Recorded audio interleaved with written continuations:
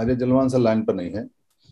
हमारी जो संगतियाँ हैं, वो संगतियाँ की डेट फिक्स है, इकतीस तारीख की गढ़ की है और 24 तारीख की जो बहुत इंपॉर्टेंट संगति है, वो यमुनानगर हरियाणा की है। हरियाणा में दो संगति हैं, एक बहादुरगढ़ की है, जिसकी देखभाल वहाँ के जो स्पोक हैं, सुधीर कुमार उनकी टीम कर रही हैं। और जगतमाल जी जो है, वहाँ की कर रहे हैं, जो यम यमुनानगर की है। पर चूँकि संगति संघ की होती है और किसी व्यक्ति की नहीं होती, करता तो व्यक्ति ही है, काम तो सारे व्यक्ति ही करेंगे, पर संघ के नियम के अनुसार करते हैं। और अब एक हमारा जो काम करने का तरीका है, एक उपठाग एक समिति भी बन रही है और धीरे धीरे उसके मेंबर भी आ रहे हैं, जो इसको मैनेजमेंट को संभालेंगे पूरे को जो पूरे काम को देखेंगे कि नियम के अनुसार चल रहा है या नहीं चल रहा है। क्योंकि संगतियाँ जो होती हैं, वो संगत की होती हैं, संघ की होती हैं। व्यक्ति की तो व्यक्तिगत पार्टियाँ होती हैं। इसलिए यहाँ व्यक्तिगत पार्टी तो है नहीं। ये संगतियाँ सारी की सारी संघ की हैं और ये संघ की ही प्रॉपर्टी हैं।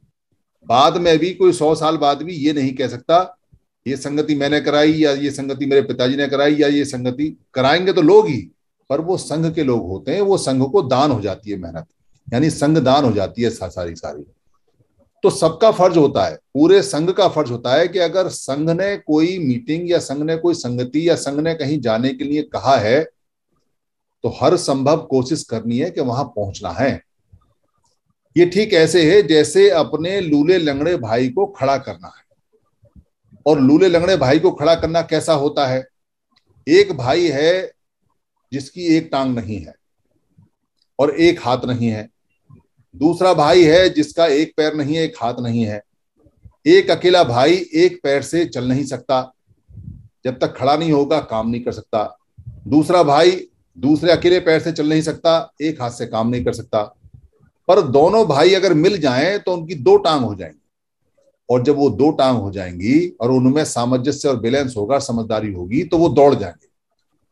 ठीक वैसे ही हमको अपनी जो लोग हैं, उनको खड़ा करने के लिए, उनको चलाने के लिए, उनको दौड़ाने के लिए हमें वहाँ जाना चाहिए, जहाँ हमारी संगतियाँ होती हैं। इसमें कुछ पैसा खर्च होगा, पर वो पैसा इतना नहीं है जितना कि हमें खर्च करना चाहिए। पाँच परसेंट का तो बाबा साहब का आदेश है। इसलिए जो कमाते हो, उसमें से पाँच परसेंट रिसोर्सेस टाइम मनी जो भी कुछ है, उसको निकाल दोगे तो वो अपने ऊपर खर्च करना है जाने में। वो संघ का खर्चा अपने हिसाब से आपको करना है। तो पैसे की कमी नहीं है क्योंकि पाँच परसेंट का हिस्सेदारी बाबा साहब की कही हुई है। तो आप नकार नहीं सकते। और पाँच परसेंट का टाइम भी बाबा साहब ने कहा है। इसका मतलब यह है कि आपको बीस दिन में से एक दिन देना है कम से कम। तो पूरा एक महीने के अंदर डेढ़ दिन आपको देना है। तो समय भी आपको देना पड़ेगा और रिसोर्सेज भी देने पड़ेंगे। खाना भी लेके जाना पड़ेगा अपने लिए, औरों के लिए नहीं। दो पराठे औरों के भी हैं, पर इतना तो कर लेते हैं। तो ये सारे की सारा जो प्रोसेस है, ये पुराना प्रोसेस है, जब हम अपने भाइयों को खड़ा करते थे। पर ये प्रोसेस हमारे हाथ से निकल गया। पर जैनियों ने नहीं छोड़ा, क्योंकि तो जैनी भी समण होते हैं। जैनी कोई वमण नहीं होते, भारत के ही हैं। तो जैनियों ने नहीं छोड़ा तो जैनी क्या करते हैं? जैनी अधिकतर व्यापार करते हैं। पर हम लोग व्यापार भूल गए जैनियों ने याद रखा और उन्होंने बढ़ाया भी। तो जैनियों में जब कोई दुकान खुलनी होती है और ये सिंधियों का भी है, जो सिंध प्रांत के लोग हैं, उनका भी है तो वो दुकान का उद्घाटन करने का कार्ड सबको भेजते हैं। अपने सारे रिश्तेदारों को, अपने दोस्तों को अपने जितने भी जानकार होते हैं, उनको कहते हैं जी कि हमारी कपड़े की दुकान खुलने वाली है, ये फलानी तारीख को इसका उद्घाटन है और आप इसके उद्घाटन में आइए। और आपको ताज्जुब होगा कि उस कपड़े की दुकान में कुछ नहीं है। खाली उसके पास दुकान है, वो भी हो सकता है किराए की हो। और वहाँ पे सिर्फ़ खाने बने हुए हैं और वहाँ एक कपड़े का कतरा नहीं। और कपड़े की दुकान है। वो सारे लोग जितने भी उसके रिश्तेदार, जानकार, दोस्त होते हैं, जिनको वो बुलाता है, जो उसके समुदाय के होते हैं, वो सारे आते हैं। और वो सारे के सारे आते हैं और दुकान का उद्घाटन होता है और उस व्यक्ति को जो दुकान का उद्घाटन करा रहा है, जो उसका मालिक है, जो दुकान चलाएगा, उसको वो पैसा देते हैं। कहते हैं, दस हज़ार हमारी तरफ़ से, बीस हज़ार हमारी तरफ़ से, पच्चीस हज़ार हमारी तरफ़ से, बीस, पचास हज़ार हमारी तरफ़ से।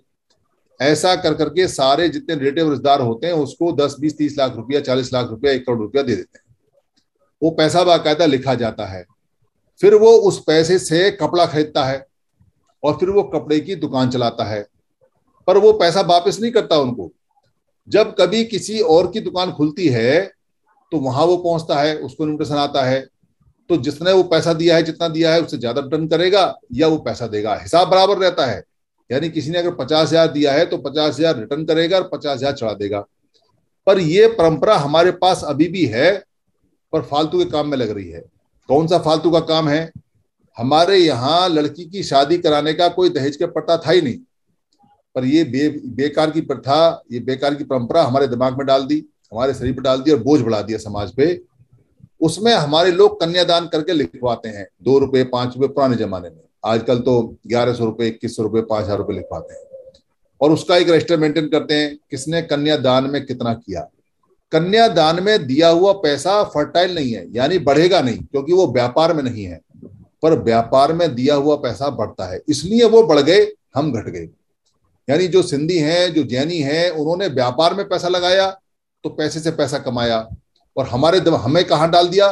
हमारे दिमाग में डाल दिया, दहेज देना है, और दहेज है नहीं तो लड़की को पैसा दे दो, और फिर जब तुम्हारी लड़की की शादी होगी तो ये ये दे देगा, और वो पैसा बेकार जाता है, वो फर्टाइल वो तो खर्च हो जाता है दावत में और इसमें, उसमें।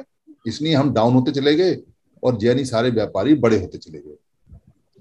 ये जो टांग से टांग बाँध के दौड़ने वाली बात है इसके लिए हमें 24 तारीख को यमुनानगर में सभी को पहुँचना है। और ये जो समर संघ के नियम है, जिसमें साफ़ कहा गया है कि एक कार में चार कम से कम बैठो, वरना तो पाँच बैठो। और मैं तो कहता हूँ कि अगर छह हो जाए तो छह बैठो। खर्चा कम पड़ेगा। तो पाँच बैठो, छह बैठो और वहाँ जाने की तैयारी करो, अपना खाना लो, अपने खाने के साथ जाओ। और इकतीस तारीख को खुशी मनाने का दिन है, क्योंकि उस दिन तीज भी है और महिलाओं की संगति होगी। तो महिलाओं को साथ लेके ज़रूर आना। क्योंकि महिलाओं को साथ लेके नहीं आओगे तो संगति किसकी करोगे? कम से कम जितने नर आते हैं अगर उतनी नारी नहीं आई तो संगति में क्या होगा? पहली महिलाओं की संगति होगी तो कम से कम फाइव हंड्रेड तो वहाँ पे महिलाएँ हो एक हज़ार का इंतज़ाम है रिजोर्ट्स में। योगेंद्र सर इंतज़ाम हुआ नहीं हुआ? योगेंद्र सर आगे सो गए? तो वहाँ सर हाँ सर इंतज़ाम है पूरा इंतज़ाम है। अच्छा फिर ठीक है। हाँ तो, ली ग्रांड होटल। हाँ तो ली ग्रांड होटल में आपने पहुँचना है। और वहाँ झूले भी पड़ेंगे, हो सकता है मेहंदी वाला भी आए खुशियों का वहाँ पूरा माहौल रहेगा। और हर एक व्यक्ति को आधा, हर परिवार को, व्यक्ति को नहीं, हर परिवार को आधा किलो घेवर, क्योंकि अगर परिवार में दो तीन लोग हैं तो आधा किलो तो वो अपने आप खाई जाएँगे, कुछ बचेगा तो बढ़ जाएगा। आधा किलो घेवर सबसे अच्छी क्वालिटी का, सबसे बढ़िया डब्बे में लेके वहाँ पहुँचना है। उस दिन हम मिठाई भी खाएँगे, सब लेके आएँगे, मिठाई इकट्ठी करेंगे, खाएँगे। एक नई बात होगी, एक नई चीज़ होगी। तो ये जो जुलाई के अंदर जो संगति आ रही है, ये दोनों इंपॉर्टेंट है। इसलिए इनकी दोनों की तैयारी करनी है। इनके दोनों के ग्रुप लगभग बन गए हैं। उस ग्रुप में आपने एंट्री लगानी है कौन को आना है, कौन को जाना है, कौन को आना है, कौन को जाना है। हमें अपने भाषणों का जो रेशो है, वो कम करना है और अपने एग्जीक्यूशन पार्ट का, यानी काम के पार्ट का बढ़ाना है। इसलिए यहाँ अब काम की बात करने के लिए सबको बताना चाहिए, मेरी इतनी तैयारी है, मैं आ रहा हूँ, मैं जा रहा हूँ, मुझे ये दिक्कत आ रही है, मुझे ये अड़चन आ रही है। जैसे तेईस सितंबर को हमारा बड़ा दिन होता है, क्योंकि बाबा साहब ने जो संकल्प किया था, वो संकल्प भूमि में वहाँ लोग जाते हैं। वहाँ सैकड़ों हज़ारों उस पर तादाद में पहुँचते हैं। इस बार वहाँ इंतज़ाम बढ़िया हुआ है, हॉल बुक हो गया है। उस हॉल में 500 से लेके हज़ार लोग आ सकते हैं। 80 की मेरे ख्याल में अभी तक यहाँ से रिजर्वेशन हो गई है, और 200 250 तक की तेईस सितंबर तक हो जाएगी। पर देर ना करें, अभी टिकट हैं। वो जो हमारे कलकराज सर है, वो बता रहे थे कल के टिकट अवेलेबल है। और अगर किसी की उम्र पचास पचपन है तो साठ कर दे, अपनी उम्र बढ़ा दे तो उसको रिजर्वेशन वैसे ही मिल जाएगा।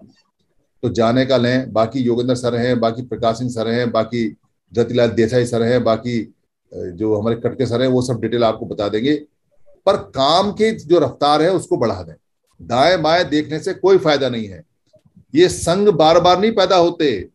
ये तो हमारा अच्छा समय रहा, ये हमारे महापुरुषों का कोई ऐसा पुण्य रहा कोई ऐसी बात रही कि हमें ये बात क्लिक कर गई और ये समझ में आ गया, संगठन से बेड़ा पार नहीं होने वाला। संगठन से बेड़ा पार होता तो अब तक हज़ार बार हो जाता। और संगठन नहीं कर पाएँगे क्योंकि संगठन जो बने हैं वो मनुस्मृति पर आधारित हैं। उनका, उनकी नियति, उनका लास्ट रिज़ल्ट टूटना है।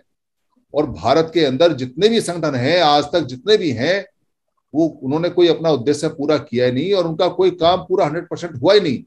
एक संगठन बता दो मुझे किसी भी तरह का चाहे वो राजनीतिक हो चाहे वो धर्म का हो चाहे वो सामाजिक हो चाहे वो पैसे का हो चाहे लड़कों का हो चाहे वो से, सेना का समता का और पैंथर पार्टी का हो चाहे वो किसी भी तरह का किसी भी तरह का कोई संगठन हो जो हमारे लोगों का हो और जिसने उद्देश्य को हंड्रेड परसेंट सौ परसेंट पूरा किया हो। संगठनों का उद्देश्य पूरा करने से कोई लेना देना नहीं है। वो किसी को नहीं बताते कि क्या हुआ, क्या नहीं, उनकी कोई जवाबदेही नहीं है, क्योंकि वो हमारी इच्छा के अनुसार नहीं बने हैं, हमारे दबाव में नहीं है, वो हमारी बात नहीं सुनते, वो हमारी बात नहीं सुनेंगे, क्योंकि वो हमने नहीं बनाए, वो लोगों ने खुद बनाए हैं। हमने, हमारा तो संघ है तो संघ हमारी बात सुनता है तो यहाँ कोई बात जब तक लोगों की सहमति नहीं होगी, वो होती नहीं है, चाहे वो अच्छी हो या खराब हो। इसलिए संघ बार बार नहीं बनते। संघ बार बार नहीं बाहर निकल के आते संघ बार बार समझ में नहीं आते। संघ वो अनमोल चीज़ है जिसको समझ में आ गई, उसको कोई रोक नहीं सकता और जिसको समझ में नहीं आई, उसको कोई वहाँ से हिला नहीं सकता, वो उल्टा ही काम करेगा। ये पहले भी होता आया है, ये अभी भी होता आया है, पर एक खास बात जो पहले हुई है, वो ये है कि संघ हमेशा जीते हैं। और संघ चाहे हमारे हों, चाहे विरोधियों के हों, संघ अगर विरोधी भी बनाएगा तो वो भी जीतेगा। और अगर हम बनाएँगे तो बात ही क्या है उसकी? और संघ में चैलेंज आते रहते हैं, जाते रहते हैं, चैलेंज आते रहते हैं, जाते रहते हैं, पर चैलेंज संघ के लिए फ़ीड का काम करते हैं, खाने का काम करते हैं। जितना बड़ा चैलेंज जितनी जल्दी आएगा, संघ उसको उतनी जल्दी पूरा कर लेगा। एक चैलेंज आया हमारे पास में कि जूम की मीटिंग से ज़मीन पर कैसे जाएँ। वो पूरा किया तो मुझे बड़ा ताज्जुब हुआ। इतने सारे संगठनों में रहा, इतने सारे जगह मैंने काम किया, इतने सारे लोगों को देखा, बचपन से देखा, अपने फादर के साथ जो संगठन थे, जहाँ वो काम करते थे, वो देखा, सब कुछ देखा। पर ऐसा कभी नहीं देखा कि 400 लोगों की संगति लगाओ और 700 आ जाए। ऐसा कभी नहीं देखा कि हज़ार लोगों की संगति लगाओ और 1500 आ जाए।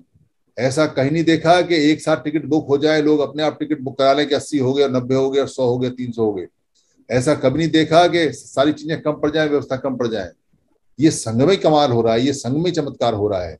इसलिए मुझे ये पता चला कि भाई, ये जो संघ है, इसको कोई नहीं चला रहा और इसको कोई नहीं बढ़ा रहा। किसी माई के लाल में ताकत नहीं है जो संघ को चला ले और संघ को बढ़ा ले। ये तो वो महापुरुषों का आशीर्वाद है जो अपने आप बढ़ रहा है, अपने आप बढ़ रहा है। पर इसको रोकने के लिए भी लोग आगे हैं। और बाहर के लोग नहीं आए, हमारे खुद के संगठनों के नेता। दरअसल यहाँ हम जितनी भी बात करते हैं, हमारी बात जो रुकती है आके संगठनों के नेताओं पर रुकती है। संगठन के लोगों पर नहीं रुकती है। संगठन के नेताओं को हमने पहले भी अपील की हम बार बार भी अपील करते हैं, पर उनके कान पर जू नहीं रखती और उनको समझ नहीं आती और उनको कोई चिंता नहीं और उनको कोई फ़िक्र नहीं। उनको संघ दुश्मन लगता है और दुश्मन लगने का एक कारण जो सबसे बड़ा है, वो है चंदा। क्योंकि हम ये कहते हैं, पैसा देंगे जब इकट्ठे होके आओगे तब। और इकट्ठे वो होके नहीं आते, इकट्ठे होने की वो बात नहीं करते, इसलिए उनका पैसा चला जाता है। और पैसा चला जाता है तो उनके जो खर्चे हैं जो उन्होंने बढ़ा रखे हैं, वो कैसे होगा? संघ का तो कोई है नहीं। एक बहुत बड़ा जो अधिकारी है, क्लास वन अधिकारी है, उससे बड़े बड़े अधिकारी संघ में भी हैं, पर वो क्लास वन अधिकारी बड़ा है। पाँच छह पाँच छह साल पहले यहाँ मेरे पास आया था घर में। और बाहर से आया था ट्रांसफ़र होके, उसने कहा कि हम यहाँ एक फूले साहू अंबेडकर पे एक काम करना चाहते हैं, सामाजिक काम करना चाहते हैं, हमारा गैर राजनीतिक होगा और गैर धार्मिक होगा, और हम तो बाबा साहब का बुद्ध का फ़ोटो भी नहीं लगाएँगे। बड़ी अच्छी बात है। उन्होंने कहा, भाई, आपकी जान पहचान पूरे देश में है, आपने बड़ा अच्छा काम किया हुआ है, सब लोग आपको जानते जानते हैं। अगर नंबर हो तो हमें दे दो। मोटी फ़ाइल मेरे पास रहती है, मैंने कहा, जी फ़ोटो कॉपी करा के दे दो। बड़े खुश हुए। तुरंत गए और फ़ोटो कॉपी करा के वो तीन सौ, चार सौ पेज थे। पूरे पूरे करा के ला के दे दिया। तो वो जब इतने खुश हुए, उन्होंने लगा कि भाई ये बंदा हमारी इतनी सहायता कर रहा है तो हमारे साथ काम भी करेगा। उन्होंने कहा, जी, आप इसमें काम करो। तो मैंने उनसे कहा कि, भाई, आप जो संगठन बना रहे हो और जो तरीका संगठन का है, ऐसे तो बहुत संगठन है। आपने मांगा, मैंने दे दिया, मैंने आपको टोका नहीं, मेरे घर आए हो, चाय पियो, नाश्ता करो, मेरे भाई हो, कोई दिक्कत नहीं हो तो समझी पर मैं संगठन में काम नहीं कर सकता। क्योंकि मैंने सब जगह देखा है, मैंने सरकारी कर्मचारियों का देखा है, मैंने सामाजिक देखा है, मैंने धर्म का देखा है, सब देखा है, मेरी समझ में आ गया, इनसे बात नहीं बनने वाली। मैंने अंदर तक घुस के देखा है इनमें, ये तो भैया ईगो और अहम के बड़े बड़े पेड़ हैं, इनकी जड़ें बहुत गहरी है। ये ये बूढ़े हो जाते हैं छोड़ते नहीं है, इनके पास कोई नया आइडिया नहीं है और संघ की सोच तो कहीं दूर दूर तक है नहीं। बस पद पदाधिकारी, चंदा, पैसा और चार पाँच इनके काम साल में रटाए हैं। अगर बुद्धिस्ट लोग हैं तो वो क्या करेंगे? धमचक पवंतर आ रहा है, अभी चौदह तारीख को उस पर जाएँगे, या एक चौदह अक्टूबर को धम दीक्षा कराएँगे, या बुद्ध जयंती पे एक छोटा सा कार्यक्रम लगाएँगे। ये उनके कार्यक्रम में फिक्स है भैया, और उनसे इसके अलावा कुछ नहीं है। और जो अंबेडकर लोग हैं, उनके दो कार्यक्रम फिक्स हैं, एक छह दिसंबर का, एक चौदह अप्रैल का, इसके अलावा वो टसमस नहीं होते।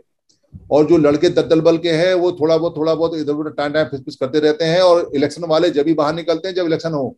यहाँ भैया सबका फिक्स है। और तो और जो जो सामाजिक संगठन है, उनका भी फिक्स है। उनके दिसंबर में बड़े अधिवेशन लगते हैं और उसकी वो छह महीने पहले तैयारी करते हैं, ज़मीन बुक कराते हैं प्लॉट बुक कराते हैं टेंट बुक कराते हैं, फिर वो पैसा इकट्ठा करते हैं और लोगों को इकट्ठा करते हैं। और उसके बाद वो आराम से छोटे छोटे कार्यक्रम करते हैं इकट्ठा करने के लिए और उनमें कोई चेंज नहीं आता और उनके टुकड़े हो जाते हैं उनके टुकड़े हो जाते हैं। ये सारी बातें मतलब जो थोड़ा भी अगर समाज में रहेगा तो उसको ये बात दिखाई दे जाती है, ये बात समझ में आ जाती है और इसका कोई डिनाई नहीं कर सकता, उसको कोई काट नहीं सकता। इसलिए विरोध में आए तो वो आए जो नेता थे, पर एक भी व्यक्ति विरोध में नहीं आया। बहुत सारे लोग कहते हैं, आप अपशब्द बोलते हो, आप गाली देते हो, आप ऐसा करते हो। सारी वीडियो उठा के चेक कर लो, जितनी भी है पोर्टल पर एक गाली नहीं बकी हमने किसी आदमी को। किसी व्यक्ति को एक गाली नहीं बकी, किसी महिला को एक नहीं बकी, किसी का अपमान नहीं किया। और यहाँ कोई मान सम्मान भी लेने आता है तो हमें बड़ा अजीब सा लगता है। अरे भाई मान सम्मान तो इतना खूब मिल रहा है दबा के, और कितना मान सम्मान लोगे? अब संघ को अगर मान सम्मान मिल जाए तो सबको मान सम्मान मिल जाएगा। पर एक शब्द नहीं कहा, एक अपशब्द नहीं कहा हाँ निकम्मा ज़रूर कहा। निकम्मा कहा जो काम नहीं करता, नालायक कहा जो लायक नहीं है, हरामखोर कहा जो बिना मेहनत की खाता है, चंदेबाज कहा जो चंदे को खाता है, संगठन धोखेबाज कहा जो धोखा दे देते है समाज को। ये सारे शब्द अपने अर्थ रखते हैं, अर्थों को हमने बताया है। हम यहाँ किसी भी आदमी से बहस करने को तैयार है। सारी वीडियो हमारे पास है, पूरे साल की, पूरे चौदह महीने की हमने अगर किसी को कोई गाली दी हो। गाली जब होती है, जब मदर की, सिस्टर की, कुछ इधर उधर की गाली दी जाए, उसको गाली बोलते हैं। अगर काम ना करने वाले को आप ये कहोगे कि ये कम्मा है, ये कम्मा है, ये कम्मा है तो वो तो काम करेगा नहीं। वो तो पहले काम नहीं करता, ऊपर से आपने सर्टिफिकेट दे दिया। और अगर ये कहता है कोई आदमी के संगठनों को नहीं कुछ कहना है, संगठनों को कुछ नहीं कहना है तो फिर भाई तुम करोगे क्या? कोई आदमी ये कहता है, जी, संगठनों को कुछ नहीं करना, कुछ नहीं करना। तो भाई करोगे क्या? कहोगे किसको? संगठनों को कुछ कहना नहीं है तो संगठन ठीक हो गए तो काम बढ़िया चल रहा है, फिर तो अपने घर जाके बैठो, क्या ज़रूरत है फिर कहने की? तो भाई, कहोगे तो उसी को, जहाँ से हमारी आफत आ रही है, जहाँ से आ रही है, कहना तो पड़ेगा, और कहने में अगर किसी को दर्द होता है तो रास्ता बता दे, भाई, रास्ता क्या है? बिना कहे मानते नहीं। लोग तो पूरी दुनिया में डंडे लेके रिवोल्यूशन करते हैं, डंडे लेके। जो पूरी दुनिया के अंदर जो क्रांतियाँ हुई हैं, लोगों ने डंडों के साथ की हैं। हम तो खाली कहते ही हैं, कहने का असर नहीं होता तो क्या करें? पर कहना तो पड़ेगा, वरना बच्चे मर जाएँगे। अगर बच्चे मरवाने को तैयार हो तो मत कहो, या कोई रास्ता है तो बता दो। इसलिए एक भी सिंगल आदमी जो संगठन से वाकिफ है या जो संगठन में काम करता है, किसी ने नहीं कहा, बल्कि ये कहा, आप बिल्कुल ठीक कर रहे हो। मेरी वीडियोस पे जो कमेंट आते थे जब मैं वीडियो बनाता था दो साल पहले, डॉक्टर अंबेडकर के दुश्मन धम के दुश्मन, फलाने के दुश्मन, इसके दुश्मन तो लोग कहते हैं, जी, आप बिल्कुल ठीक कह रहे हो। आप बिल्कुल सही कह रहे हो। और ऐसे बहुत लोग यहाँ जुड़े हुए हैं जो ये कहते हैं कि ये बात बिल्कुल ठीक है। ये बात ठीक है, इसको काटने कोई नहीं आया आज तक। कोई नहीं कहने आया। जिनको नेता बनना है, जिनको चंदा लेना है, जिनको पार्टी पॉलिटिक्स करनी है, वो ज़रूर लोगों को कहते हैं जी, वहाँ अपशब्द कहते हैं, अपशब्द कहते हैं। एक अपशब्द नहीं बता पाए कोई लोग। हम अपशब्द नहीं कहते। हम तो खाली शब्द कहते हैं। अब अपशब्द तो अपने आप उनको लग जाता है। पर सबको नहीं लगता। जैसे पूरी 200 लोगों के अंदर एक चोर होता है और एक आदमी करे चोर तो जो चोर होता है वो ही गर्दन घुमा के देखता है। बाकी उसको देखते हैं, किसने गर्दन क्यों घुमाई? वो पकड़ा जाता है। चोर की दाढ़ी में तिनका होता है। इसलिए जिसको अपशब्द लगते हैं, वो संगठन वाला आदमी है, वो व्यक्तिगत आदमी है, वो चंदे वाला आदमी है। वरना तो बुरा लगने का मतलब नहीं है। काम जो कहते हैं, जो बात कहते हैं, वो बिल्कुल डंके की चोट पर कहते हैं और लॉजिकली कहते हैं और तर्क करने को सब लोग तैयार हैं। इसलिए काम बढ़ रहा है। इसलिए लोग समझ में आ रहे हैं कि भाई, जान बचानी है तो हमको इकट्ठा होना पड़ेगा। जान बचानी है बच्चों की तो और कोई रास्ता नहीं है। इसलिए संघ बढ़ता है, पर जान, जो जान बचानी है उसके लिए काम करना पड़ेगा। काम की स्पीड जब तक बढ़ाओगे नहीं, जब तक कुछ नहीं होगा, संगतियाँ कम लग रही हैं। यहाँ जितने लोग हैं वो अपनी अपनी संगति बताएँ कि कहाँ कहाँ लगनी है। हर संडे में तो लगानी चाहिए। पिछले संडे को, पिछले से पिछले संडे को दस संगति लगी इस बार जो संगति लगी है, वो आठ लगी हैं। एक बाद में लगी है, जो बहादुर में लगी है।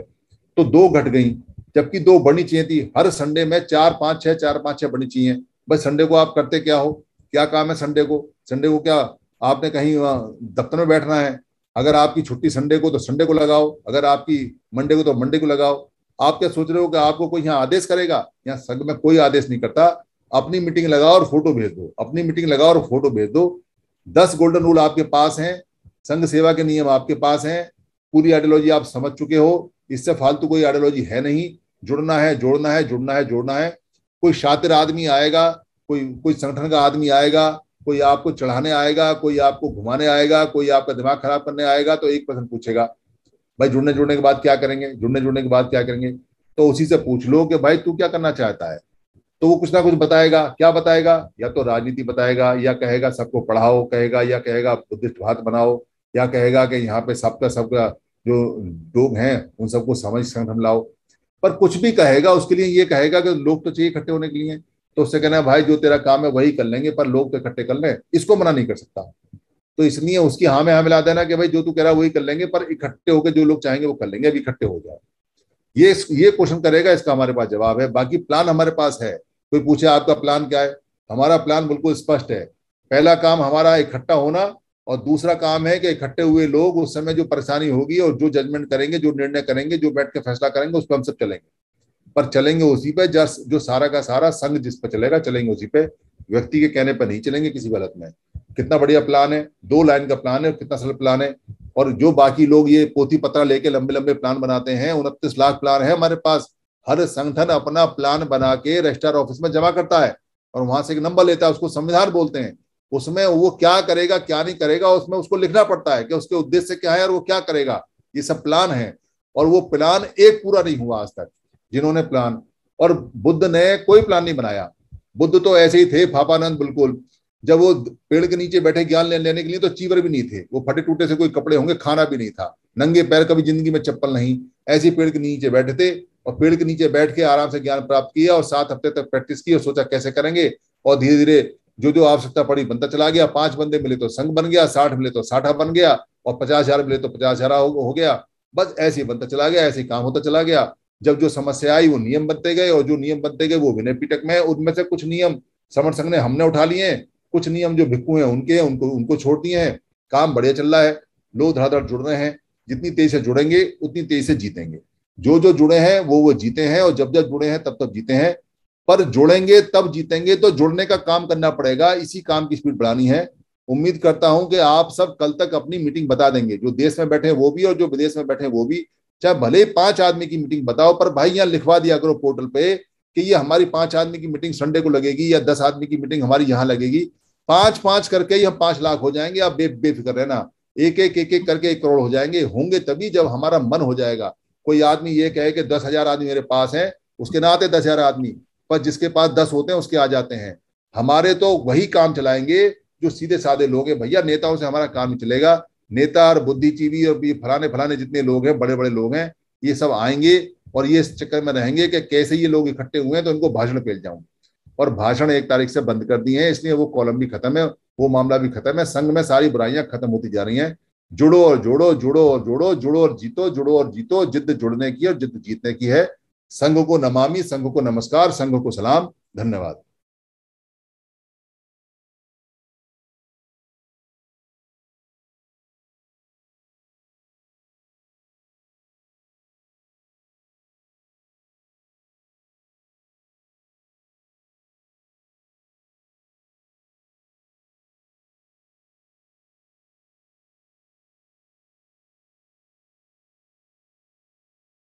आप सभी से ये निवेदन है कि अगर आपको ये वीडियो अच्छी लगती है या बाकी वीडियो अच्छी लगी हैं, और आपको लगता है कि धर्म की वीडियो किसी को और मिलनी चाहिए या किसी को गिफ्ट में भेजनी चाहिए या किसी भाषा में कन्वर्ट करके आगे बढ़ानी चाहिए या प्रिंट में, किताब में छापनी चाहिए या इसकी जो ऑडियो है उसे निकाल के भेजना चाहिए या इसका किसी पार्ट को इस्तेमाल करना चाहिए तो आपको लिबर्टी है, आपको छूट है। ये सभी कॉपीराइट फ्री हैं।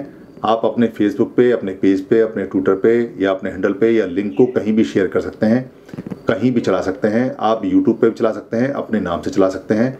इसके लिए इजाज़त लेने की या परमिशन ले, लेने की बिल्कुल भी ज़रूरत नहीं है।